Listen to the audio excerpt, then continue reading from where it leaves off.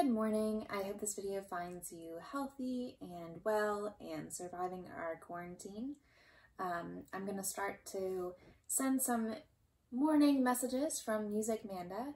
Um, I think music has a way of giving us comfort and familiarity and just some, some peace. So I'm going to be playing some of my favorite hymns and ones that I know that you all like. Um, so we're going to start today with Morning Has Broken. It's the same tune as Praise and Thanksgiving and Baptized in Water. Um, and I think it just always gives me the sense of um, warmth and happiness and new beginnings. Um, it just always makes me feel happy. Enjoy.